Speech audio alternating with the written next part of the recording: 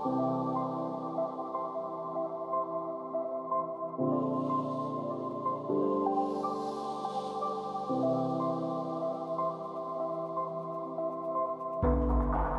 uh, CC from PSE. Um, today I'm sharing some my uh, developer experience from uh, programming the uh, circuits, ZK circuits. So um, we know in uh, ZK Snark, well, we allow the prover and the verifier, they agreed on the algorithm. And then prover can provide a proof input and the output to the verifier. And then verifier can be convinced that the computation, the output is uh, correct corresponding to the input without recomputing the algorithm again. So uh, lots of uh, scaling and privacy uh, we are getting from this snarks. And I'm going to unroll this uh, uh, process more. It's not a full story, but uh, you as a circuit developer, you are on the left hand side. You define some constraints, and, and then you send a, a, verifying key and proving key generate, generated from the, these constraints and send it to a verifier and approver. We call this a, setup time. This is like when you like finish the circuit development and deploy the project and uh, setup is ready. But uh, at a proving time, like whenever you need to send a proof, uh, so prover would uh, run the computation and get the computation traces and fill in uh, to the circuits. And using the proving key to uh, generate the proof and then send the proof to the verifier. Um, uh, uh, today we don't care about like how sausage is made. Like we care about like uh, how how do you like like turn the computation into circuits. So if you're coming from uh, like a normal programming world, um, for example, if you write Python, C, Rust, anything, uh, you might, your brain, you works with uh, function, loops, and if-else, this kind of good stuff.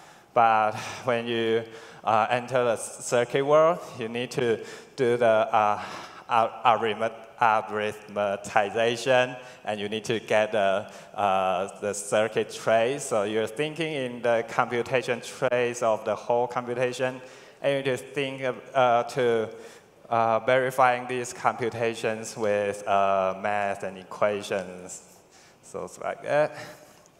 So uh, before we going to uh, introduce some tricks and development tips, let's talk about the rules of the game, like how, how does circuit thing work. Um, so first of all, like all computation is uh, represented in finite field arithmetics. So uh, a finite field element is, uh, you can think it as an integer, and it's a positive integer and less than a, a number p.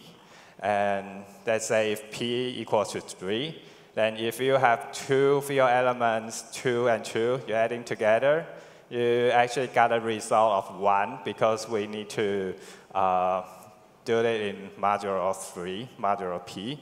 And p is usually a very large number. For example, it's uh, 254 bits. Um, so uh, the takeaway is that we need to represent like uh, your computation in, in field numbers instead of bits and bytes, and uh, you need to uh, watch out uh, watch out for the uh, wrap over and overflow stuff.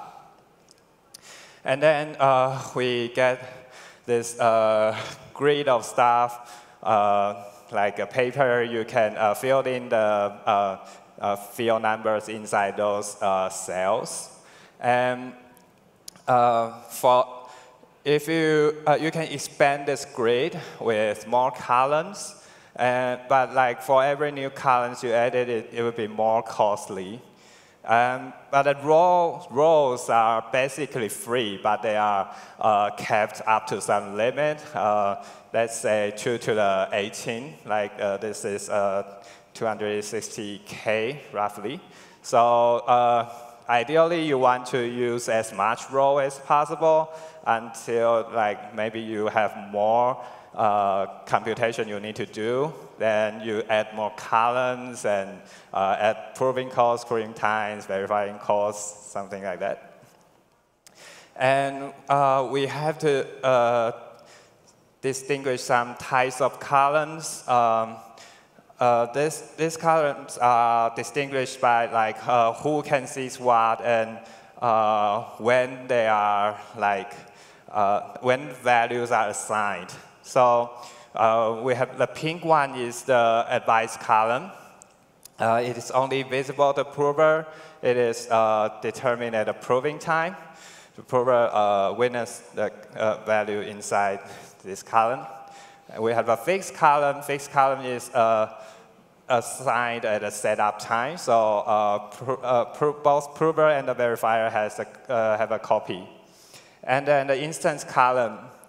So this is, uh, the value is vi visible to verifier. So uh, we can, um, uh, the prover can fill in the input, then the output in a proving time.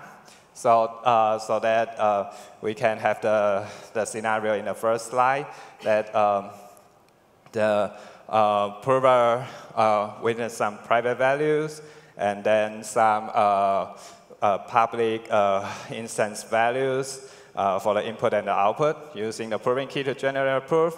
And then verifier can verifying the proof and also take the uh, 10 and 100 layer, uh, you can verify in the contract or uh, do other verification if you may. Um, right. Okay, so um, now we have the grid, we have the columns. Uh, we need to define like uh, what values in the cells are correct or valid, like what, what uh, values are allowed to put in the cells. So these are constraints, and I'm going to introduce two types of uh, constraints in Halo 2. Uh, the first one is the uh, custom gates. So this defines the constraint in uh, polynomials. So the gate uh, looks like this. We have a, a we, we choose the uh, a cells from column A cells from column B and cells from column C. You can uh, choose uh, whatever column you want, and you can choose the uh, relative position. For example, uh, I want the next, oh, sorry, next column uh, of the, uh, in relative to the A cell. And then you can define the sorry, you can define you can define a polynomial to um, constrain like okay, a must equal to the b plus uh, uh, b b the next cell of the b, and then but like uh, this gate will be applied to all rows in in the column. So uh, sometimes we don't want to do that. So uh, that's why we have a selector here. So this selector will be the uh, 1 or 0 value. So if this uh, selector is 1, then the whole, uh, then, then this expression here must equal to 0. Then uh, our uh, constraint is enforced. But if selector is 0, then the whole expression is already 0. So uh, this constraint does not necessarily hold uh, for, for that uh, particular role. I just want to quote uh, the, the, the sentence from Vitalik I heard uh, from his talk. He said, like, everything's a polynomial, I'm a polynomial. Uh, so to give an example, uh, I borrowed example from Intel's Fibonacci circuit example. And we want to prove the nth term of the Fibonacci number. And then we can filled in the uh, value of uh, 1, 1, 2, 3 uh, by everything into the grid. And we define the gates that uh, left plus right uh, must equal to the sum. And must, that means like left plus right minus sum equals to 0. And we use the selector QFIB uh, to determine like which, uh, which row we want to enforce this constraint. So uh, here is one way to do it. Like we, we, uh, we make this gate looks uh, like very straight. They are on the same rows. Uh, but you can see that we, we are using three columns here. Um, so this is an, uh, the other way you can do it.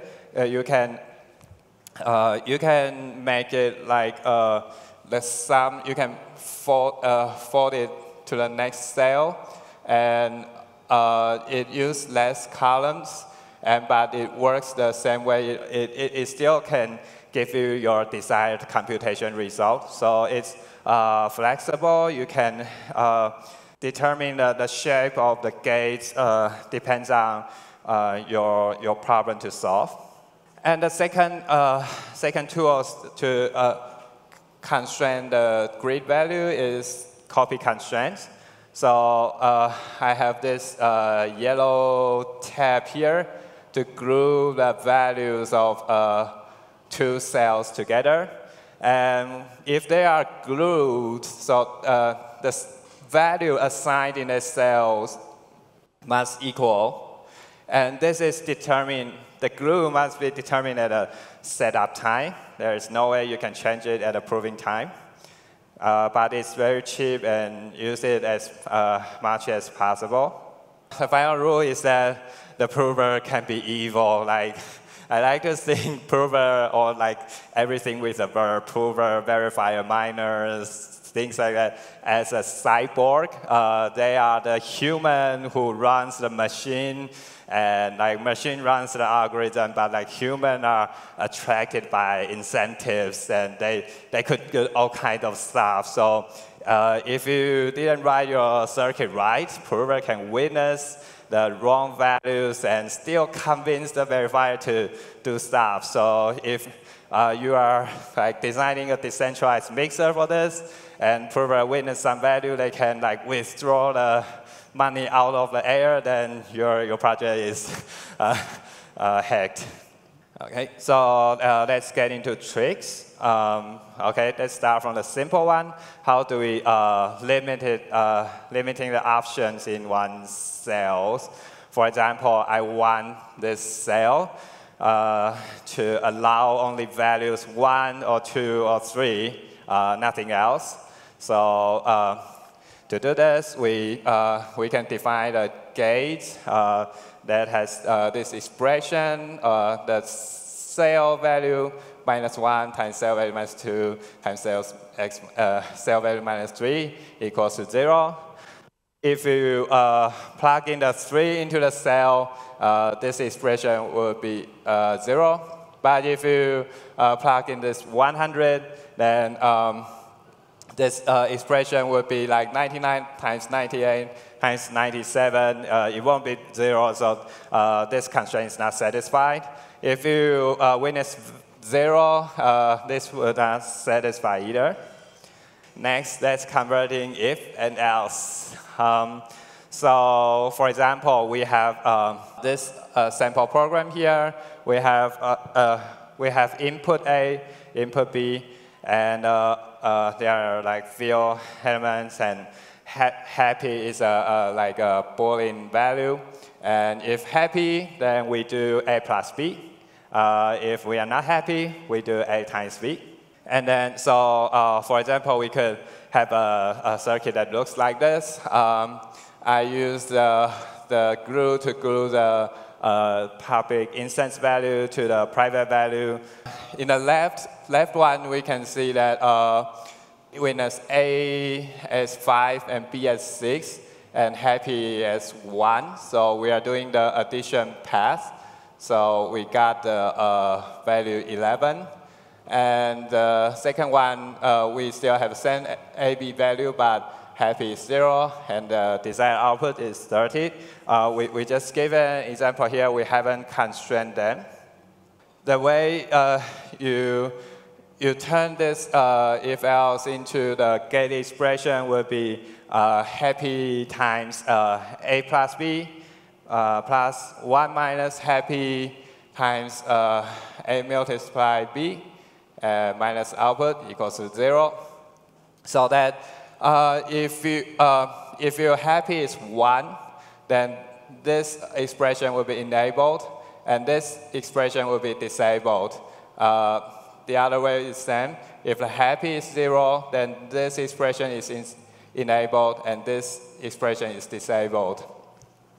So uh, let's see, um, we, uh, we have like uh, example of value witness in here uh, these are all satisfied, um, but uh, like we kind of forget something here. Like prover can witness three here and still got the three times uh, uh, five plus six and, uh, and like get the output minus 27 equals to zero. So what's wrong here? Uh, it's because that uh, every input is uh, uh, finite field element. But uh, if we want Boolean value here, we need another constraint to make it Boolean. So we need this additional con uh, constraint here to limit the happy to be 1 or 0. So using the tricks before. Okay, uh, next uh, we need to uh, convert the loops into the uh, circuit. And uh, this, uh, let's start with an easy one. This function uh, initiates a variable r as 0, and then it uh, runs the loop five times and uh, add the five, uh, add r, to, add five to r and do it five times. And like five, these are our constants. So it will be easy to lay out like the value of r uh, started with zero, and the next uh, plus five, plus five, plus five, all the way to the output. And then we constrain the uh, value uh, zero to zero, 25 to uh, the output to the output. So uh, we will have this gate expression like this, easy. But what about this? this looks like exactly the same loop, uh, is that uh, like how many times of loop is determined by the uh, prover input and here. So uh, this will be uh, a lot trickier um, because um, you might have a, uh, so um, we, we can imagine a computation trace looks like this. Um, first, uh, prover inputs the N here, and the output uh, 25 here. And uh, three, uh, or, or input 3 here, input here. And notice that uh, this, uh, this algorithm, this is basically the very inefficient way to do 5, time, five times n. And also note that uh, this n could be like arbitrarily large, but like we don't have an arbitrarily large uh, circuit. So like we cannot do infinite loops. We, we, we can only do like only up to certain amount of uh, uh, computation. So we need to like restrict this, how big this n could be. Uh, let's say we restrict it to five. And then we need another check to make sure that n is actually less than five, but it's out of scope of this talk. Um, uh, we want to focus on how like to uh, determine the, uh, the computation of R inside.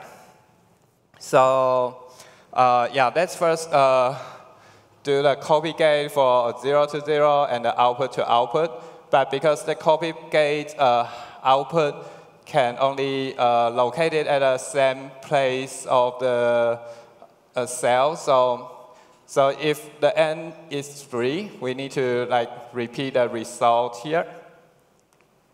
All right, uh, so Um, one attempt is uh, to solve this is we add a, a witness uh, selector here. So uh, let's put 111 here uh, when, we, uh, when, when we are still in a range of n. And then 000 here to do the repeat. And using the if-else trick we uh, learned before, we can define this gate expression. but then how do you prevent like, like the prover doing this? So like uh, if prover like they don't follow the rules, they uh, uh, witness zero and like one, and then go back to zero and one. And uh, if you do the math, you can realize that prover can witness three and like output to, to be 10, then it convinces you that five times three is 10. Then yeah, it, it's, a, it's a failure that people say is like blockchain is all about trust. I would say blockchain is all about trust issues. so uh, let's observe like like the um, like different cases of n. Like n is zero, n is three, n is five, and uh, we observe that s can only like for the uh, valid case that uh, you can start with zero, but once you are zero, you can only go with zero uh, of the rest of the row. You can start with one, and uh, you can turn one to zero anytime, but like once you turn to zero, there is no way to turn back. So uh, we can identify the state transition uh, like this. Uh, so uh, this is a trick uh, Han uh, taught me. So you, when you start, you can start at a, eight state. That means we need to add five. And you can, uh, from eight state, you can go back to eight state. You can go to the pad state, which is, which is a zero, and like, like the R remains the same. And, but the point here is that once you enter the pad state, there's no way to go back to the edge state. So uh, we can define the constraint here. Uh, and the actually, uh, the only thing we need is here. Um, like if you uh, if the current cell S is zero, uh, for example here, then the next cell must be zero. So uh, this constraint can help you achieve that. And also we need to make sure the selector is binary. Um, now uh, we, we have a final touch, like to um, uh, make the input, uh, accumulate this input value and copy back to input. Uh, this still follows the same same rules from the uh, prover witness selector. Um, so, like, uh, why are we uh, doing all these tricks? Why, why, uh, why we need to like doing this uh, repeating and like uh, state transition thing? Uh, because like in CPU, the, the we take instruction one at a time, and if you um, have a if-else branch, and if the branch you didn't enter, that just you can forget it and you don't compute it. But for a circuit, um, you need to flatten all the computation, all paths you need to uh, include it in your circuit. And then so you can see here, even though uh, we only uh, witness uh, input three here, and these three rows, we, we still need to need them and like uh, witness some dummy values there. Uh, because we need to consider the case that prover could witness five here and like use all these spaces. The takeaway here is that the challenge for the circuit developer is that uh, we are working with the computation trace instead of the execution itself. So we need to flatten the path and like uh, work uh, all, all possible paths of your computation. Uh, the second is that because we are working with a field element instead of bits and bytes, so we need to do some math and equations there. And the third is that uh, we need to work with a verification mindset because prover could be witness uh, malicious values inside your circuit. And uh, the tricks we talked about here are like uh, using the Boolean value and uh, uh, one, one time, times the true path and the, the other times the false path. This can convert the if-else statement into the, uh, the, the, the, circuit expression. And for the complicated loops, you need to identify the uh, state transition uh, uh of, of the, uh, your, your, program logic and then uh, design constraints for them. Yeah, that, that's my talk. Thank you. Thank you for listening. Thank you. Uh, do I have time? Yeah. I thought that in Plonk, yeah. the copy constraints were expensive. Um, can you expand on why they're cheap in Halo 2? Um, I think they are. I think they are the same. I, uh, I think it, that they are cheap in terms of when you use uh, once and like you use it a million times, they are they are the same cost. So I, I think, yeah, that's, that's the idea. Okay, thank you. Great presentation. Hey, for somebody that wants to learn more about ZK proofs, what path do you recommend to go? Uh, right now, I think uh, the circuit explanation is really good, but I got lost in some bits. So, what would you recommend me to, to read in order to, to follow you better? I would recommend try to find a simple circuit project and try to run it, try to tweak it, like removing something, and, and try to start it. I think that would be the uh, good way to learn how circuit works. You mentioned like in the, yeah, here in takeaway points that you have to prevent the prover from cheating. How often do you see when you're writing the circuits that how often do you find bugs because your circuit was under constraint and the, the prover can cheat? Oh, uh, good question.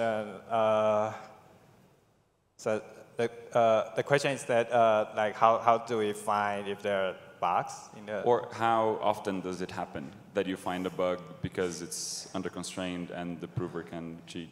Um, or because the, the constraints, if the constraints are wrong, if the gates are wrong, or just trying to compare it to like usual software development, um, when you just basically write the logic wrong, right?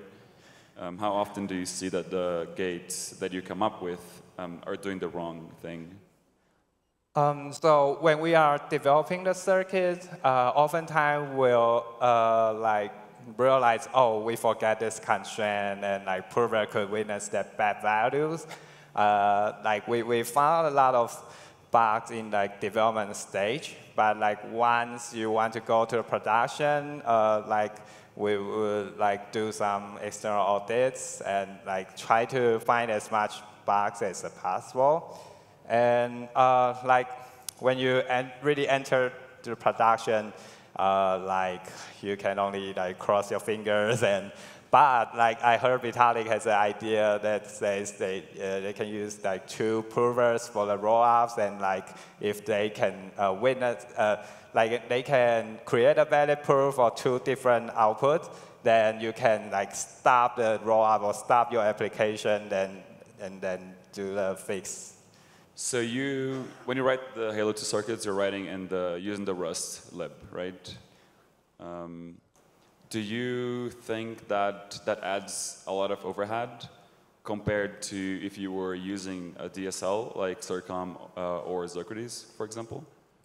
I definitely feel like CIRCOM or like like DSL are more readable, more auditable.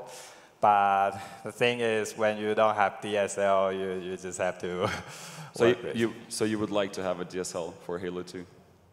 Uh, I like what? Would you like to have a DSL for, for Halo 2? Yeah, yeah, yeah, yeah. That, that would be that would be desired and great to have a DSL for Halo 2. Yeah. I thought someone released one some months ago, didn't they? Or uh, I, maybe I dreamed that, but I don't know. Any anyone up here? No. I think it was someone from DarkFi that posted on the, the ZK podcast Telegram group. Oh, oh it sounds but great. maybe I also dreamed that. I don't know. Thank you.